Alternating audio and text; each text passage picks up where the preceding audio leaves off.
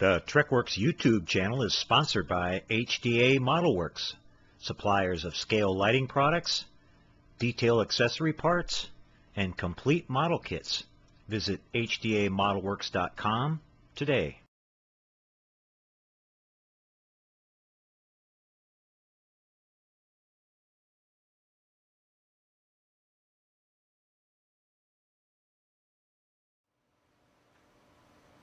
Hello again everybody, Boyd back with you again.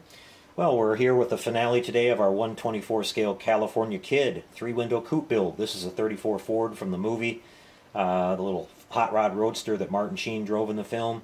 One of my favorite movie cars.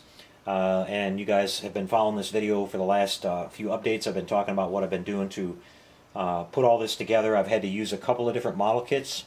So I'm going to talk about what I used a little bit here today and explain everything best as I can if you ever want to try to do one of these yourself out there.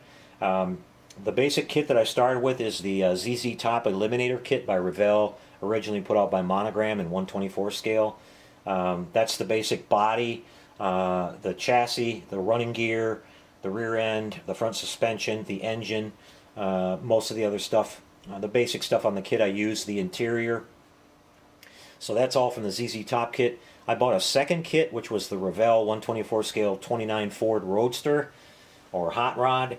Uh, I used that because it included these really nice um, steel wheels here with the uh, factory Ford Baby Moon hubcaps and trim rings, which were on the movie car. Uh, didn't come with this kit, and they're actually pretty hard to find, especially in the right scale. It really worked out great because the tires that came with those two were perfect for this car. They had real you know, the movie car had real tall tires in the back and really small ones up front. And uh, that helps to give it that kind of nice rake that it has. You know, it's dropped a little bit in the front end. So that worked out really well. Um, some of the other parts from the uh, Revell 29 Ford are the door handles here, which this kit didn't come with any kind of door handles. The mirrors from this kit. Uh, the taillights are from this kit. Uh, which I moved those from originally being located here on the fenders to where they are on the movie car. The rear bumper that you see here is scratch built. That's uh, just some you know styrene that I cut. I made the brackets and just made this basic bumper. In the movie, it had just this real plain black piece of like almost angle iron bumper, bumper you know, welded onto the back, which turned out to be perfect against the uh, sheriff's car who was using the uh, front push bar to push people off of cliffs with. So that worked out really well just by coincidence. Um, up here at front, I used uh, some copper wire and I bent this. This had the, the, car had this little tiny little kind of Nerf bumper on here, which was basically completely useless in a crash. It's just a small piece of tubing, um, but uh, it looked cool in the front of the car, and we were, of course, you know, that's kind of a one one of a kind thing. I knew there wasn't going to be a kid out there that had that, so I scratch made that. Uh, just took some wire, bent it, glued these two little uh, end pieces on. I kind of scalloped them, you know, made them a little wave action on the ends like they are on the bumper. And then I had uh, this little, they had the little license plate mounted here on the passenger side. So I did that. Now, curiously, the Fred D uh, Cady decal set that I talked about, that I used on this for the flames and everything, had a lot of really accurate decals uh, for the car. Uh, a couple that were really uh, kind of, wish I would have got with it though, were uh, first of all, the, kind of strange they didn't uh, print the uh, correct license plate. You know, the, it's a California black plate, but it's not the same one as it was in the movie, so that's okay. But the one things that I'm missing here are it had the car had these really fine little kind of triangle shaped pinstripes that went ahead just you know just ahead of the flames here, one on each side on the hood, and I think it either had one or two on the sides of the uh, you know the engine cowlings here, these panels just ahead of the flames. I tried a couple times with a super tiny paintbrush and some really thinned out white paint to try to paint those on and I you know they're they're basically like triangle shapes or something and um, I just couldn't get it to look right. I'd get one of them to look pretty good and then when I tried to do the next one it didn't look the same and you know you get a little thicker a little thinner and I just wasn't happy and I thought rather than having them on there looking bad I just won't have them on there at all. Maybe later on I'll come across some custom decal set you know or uh, extra decal set in another model that has something close to that, and I'll be able to go back and put those on there. That'd be cool. Because uh, they were kind of a common like script looking thing that they did back in the day. Um, but anyway, that being said, everything else as far as the detail on the car, I think I've got pretty close. I thought it was pretty cool that they gave you the little uh, Southern California Drag Racing Club uh, decal that he had in the windshield here. That was on the actual decal set, so that was cool. Um, the gauges are decals are in there. Had the California Kid lettering there. Had the correct flames and everything. So all that worked out really good. Uh, here we got the side pipes. These are um, somebody asked about these again. These are this part of the side pipe is off of the 66 uh, Chevy Malibu Street Rat kit by Monogram in 124 scale. You know the one that kind of sits up really high in the front end. I built a different version of that kit a while back and had those left over, so they worked out good. The front half here is just a piece of uh, I, I picked out a piece of sprue that was basically the same diameter and then heated it and bent it and tucked them up underneath like that. This has been painted with Alclads. These are supposed to look not quite uh, chrome. In the movie they were toned down a little bit and then the center part was just blacked out. So we did that. Um, got the, um, let's see if I've missed anything so far. Got the little stripe painted on all the way around the side here. Now this uh, was a detail that I actually missed. Right, you know, first off, I was kind of watching the movie and didn't notice it. Then I started noticing it more and more. And at first, when I saw it, I thought it was a white painted-on stripe that went around the, you know, the. There's a little raised body line right here along the, all of it kind of wraps around this thing, and I thought it was um, the, uh, you know, I thought it was painted white. But then there's a couple shots where he's sitting in the sun just right, and you can see it was a little piece of chrome strip that went all the way around there, which is quite a bit of work because that never came on this original car. And uh, to get that molded and you know it looks like it's back here especially it's all one piece. So they did a lot of work to make that custom for this car. Uh, so I went over that with a Sharpie. Uh, like you know I do a lot of that. It, it, worked out pretty good. But one thing that I want to talk about is that I used let me grab this really quick. Uh, when you when you do work with sharpies or even you know the, like the Testor's silver and stuff like that what happens is a lot of the time um, the it, it, it takes a long time for it to dry. In fact it might be months before it completely dries to where if you accidentally touch it or whatever it, it leaves a dull smudge on it or a you know it, it just screws around with it. So uh, I use this product here from Alclad this is called their Aqua Gloss now what they advertise on this stuff is that it's uh, supposed to be able to be used over those metallic type paints uh, and you can put a sealer over them to where it'll, you know, no longer, it'll actually dry and it'll have a hard shell on top of it. Uh, and it won't take away the, you know, the metallic look that it has, which unfortunately almost every kind of clear coat that you use will do that to that type of a paint, whether it's Alclad chrome or whatever you're working with. Well, this is designed specifically to, you know, for that application. So I'm going to be using more of this. Um, I kind of recently discovered it. Um, when I get ready to build the big um, B-36 bomber that I've got, that's going to have that really bright, you know, metallic finish on there. And uh, it's going to have to have decals and everything put on on the top. So I'm going to use this as a sealer over everything, and I really like it. Now, one of the important things I tell you about it is uh, not to shake it. So all this weird white stuff in the bottom is supposed to just kind of stay there. I don't know why it's there if, if, if they don't want it mixed in with everything else, but uh, that's that's the instruction. Now, I just took a tiny little brush, put this stuff in a cup, and I just lightly, you know, after the whole model was cleared and everything, I uh, just went over this real, real careful. Just you know, just that little stripe right there, and I went over these and anything that I had painted that was at uh, metallic. And I'm telling you, it works really fantastic. It, it actually, if you see it just in the right light, it puts sort of a, a transparent little shell on the top of it that gives it a more realistic almost plated look. You know, you it's really hard to get the exact look as, as real chrome plating, but um, or, or polished stainless, but uh, it, it does. It gives a really nice, um, almost, you know, it makes it look deeper and not like a just a magic marker, you know, line on there or whatever. And it, it, it works really good, so I highly recommend it. Um, you can spray this or brush it on.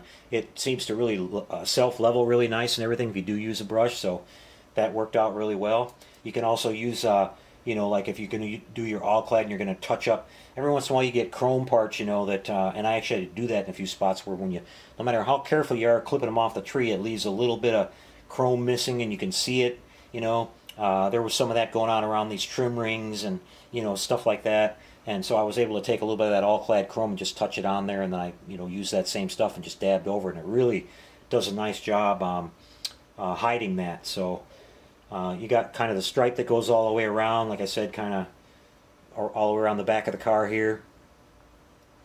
and uh, got the taillights moved. They were originally on the ZZ Top kit. They were located here on the fenders. There were these little slots cut in here. I had to fill those and uh, you know move the taillights over to here.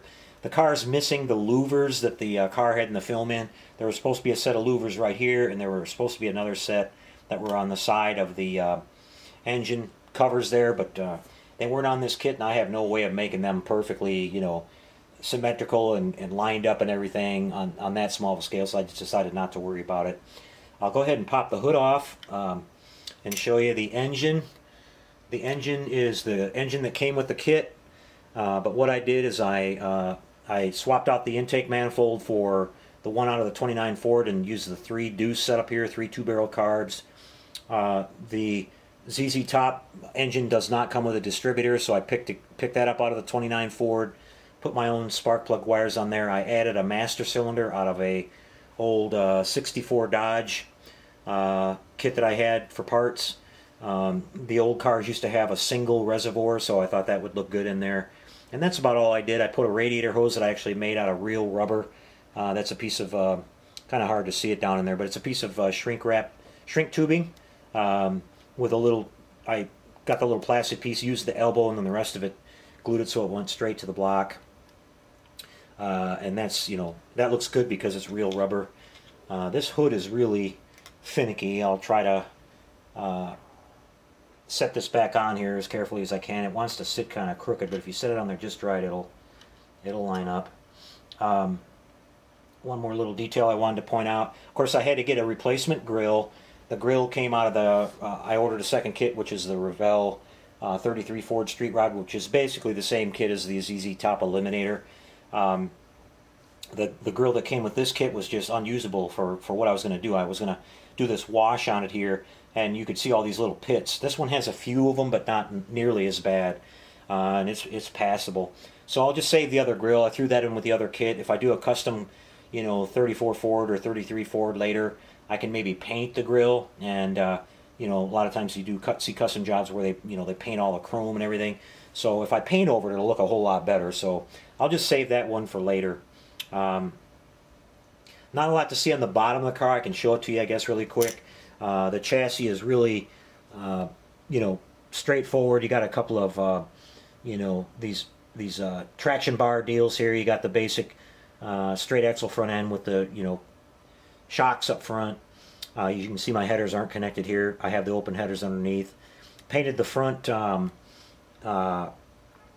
axle white like it was in the car in the movie, which which is uh, really cool. And in a lot of the shots, it looks chrome when the car is coming towards you and stuff but there is that one scene where he's in the garage working, you know, he's down in the pit underneath of the car working on it, and they show you the front end, and you can see it's painted white, and you can see the white headers and some other detail on the bottom. You can see the uh, side pipes aren't hooked up, so pretty cool. So uh, I did the interior in tan. It's going to be hard to see that.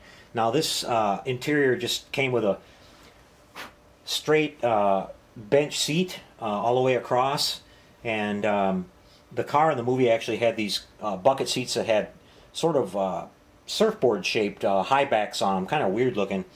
Uh, looked through all my stuff, didn't have anything that was even close to that, so I just decided to leave the uh, the bench seat in there, which again I think is kind of cool, nostalgic. It's like the original seat.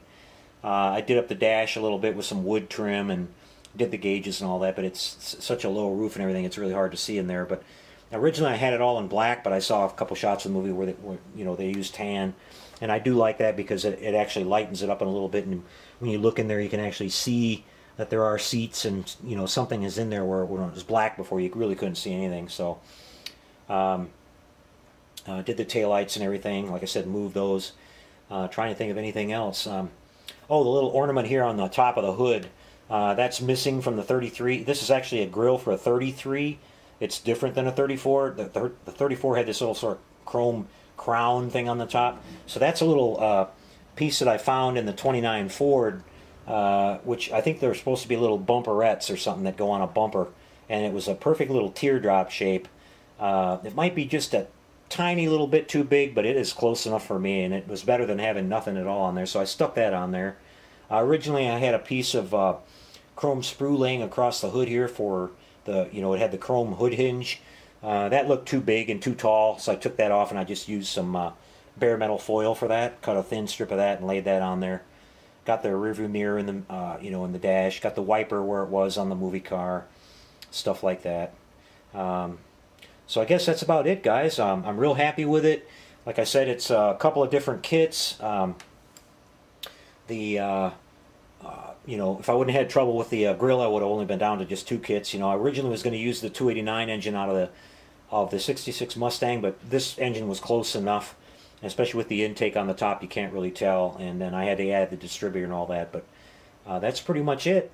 So that's going to be a wrap for this one, guys. I really enjoyed it. Um, I actually have gone and bought a 58 Plymouth uh, Christine model kit because I think later on I'm going to try to modify that and actually do the sheriff's car. That's actually a 57 Plymouth Fury that they used. Um, uh, it's kind of cool because uh, the uh, you know that car was really underrated back in the day, and and uh, in the in the movie they never show show you what's under the hood of the sheriff's car, but there's a scene where uh, the mechanic is talking to him and he's he talks about it having dual carburetors, which you know.